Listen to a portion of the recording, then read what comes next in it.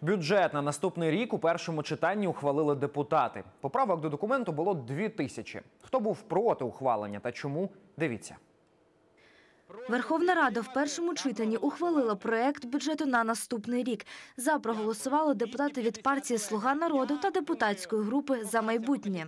До законопроекту було подано понад дві тисячі правок, але більшість пропозицій не відповідали регламентним вимогам, каже заступник голови бюджетного комітету Олександр Трухін. За попередньою оцінкою для врахування поданих пропозицій загальна потреба у бюджетних коштах становить близько 1,9 трильйона гривень. Врахування окремих пропозицій переважно соціального спрямування щодо додаткових видатків державного бюджету у таких сферах, як медицина на придбання ліків та лікування громадян за кордоном, культура на державну підтримку кінематографії та реалізацію нових культурних проєктів, Не підтримали проект держбюджету на наступний рік Європейська солідарність, голос та опозиційна платформа за життя.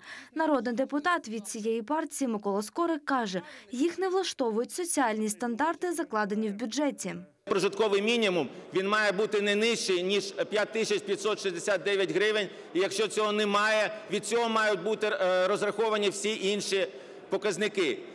Про недостатній соціальний захист каже і голова фракції Батьківщина Юлія Тимошенко. Зміцнюється курс гривні, зменшуються видатки по зовнішнім запозиченням. Треба в доходну частину це вкладати.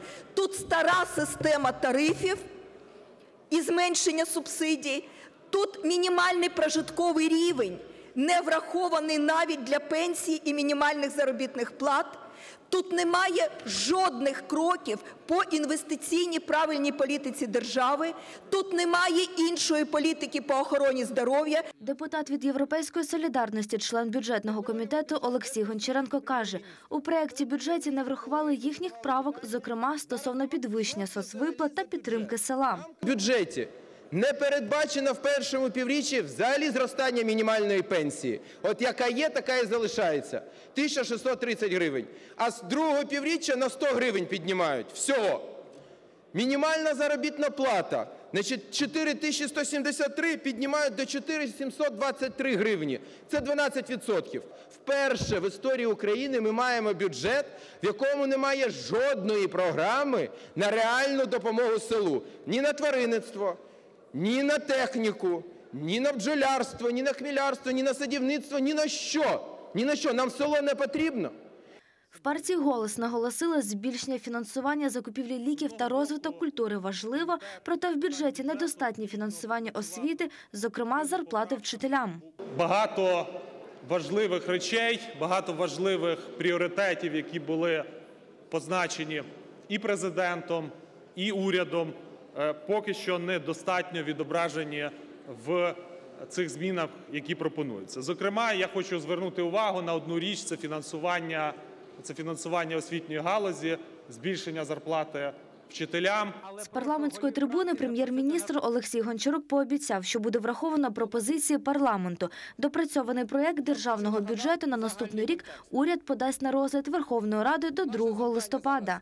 Дар'я Коваль. Новини на Суспільному. Ну а тепер до цифр. Згідно з проєктом бюджету на наступний рік на освіту планують витратити більше як 130 мільярдів гривень. Це майже на 8 мільярдів більше ніж 2019-го. Видатки на національну безпеку і оборону становитимуть понад 240 мільярдів гривень. Це на 34 мільярди більше ніж цього року. Загальні видатки на охорону здоров'я 108 мільярдів гривень. Витрати на культуру та інформаційну сферу більше як 8 мільярдів. А на ремонт та будівництво доріг передбачено спрямувати майже 75 мільярдів гривень.